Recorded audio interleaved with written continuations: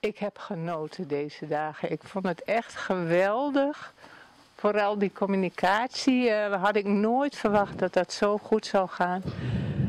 Ik was gewoon helemaal geëmotioneerd toen ik zag van, of toen ik hoorde wat ze allemaal oplazen. Ik denk, ja, dat kan niet. Maar het, het gebeurde toch. Het was helemaal goed. En gewoon die sfeer hier.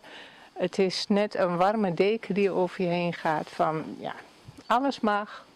Niets moet. Je bent heel vrij. En ja, gewoon geweldig. Ik heb genoten. Ik kan het iedereen aanraden.